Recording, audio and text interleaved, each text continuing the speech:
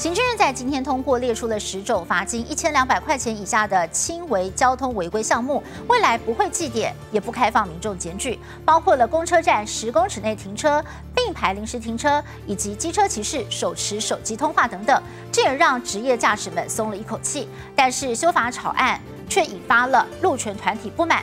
行人零死亡推动联盟认为，交通部替违规行为开了后门，将发起北中南串联抗争行动，要全力的挡下不合理政策。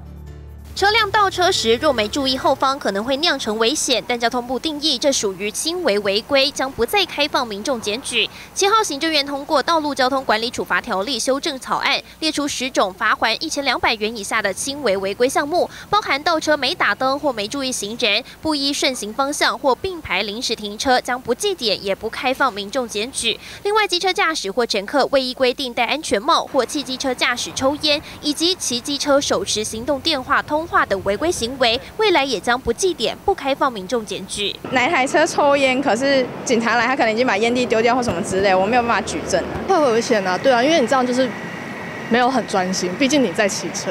政府早就应该宣布，就是那些检举达人不算，警察是专业开单，我们服务器。轻微的交通违规样态包含了在人行道停车，或者是在百货卖场等公共场所前停车，以及在学校门口前停车，都不得被检举。而像是日前闹得沸沸扬扬，在交叉路口公共汽车招呼站十公尺内、消防车出入口五公尺内以及消防栓前临时停车，也被列入不计点、不开放民众检举。其实对计程车司机来讲，是松了一个很大的一口气哈。你不让人家去。